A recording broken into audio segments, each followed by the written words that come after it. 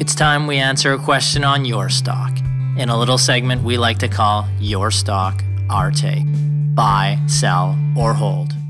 Now, the second company, Electric Royalties Limited, the symbol ELEC, also on the TSX Venture Exchange. It has been public since June of 2020, trades at a price of just under 40 cents per share and a market capitalization of 27 million. So they bill themselves as a royalty company established to take advantage of the demand for a wide range of commodities that will benefit from decarbon- decarbonization or electrification. So this would include lithium, um, uh, vanadium, but also some some more traditional metals like nickel, zinc, and copper. Uh, the company reports a portfolio of 18 royalty properties located mostly in Canada and Australia. Looking at the financials, this company has so far reported zero revenue, so no, nothing on the revenue line.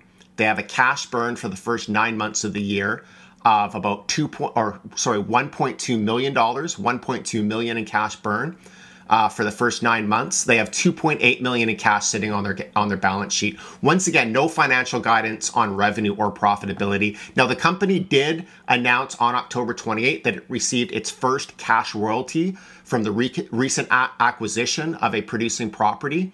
Uh, but there's no specific numbers provided there, so we don't know what this payment looked like, and I suppose we won't know until the next quarter comes out. What is KeyStone's take?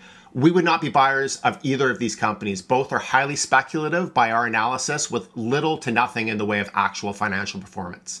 Investors can keep an eye out for future quarterly reports to see how much each company's single producing royalty stream will contribute in terms of cash flow.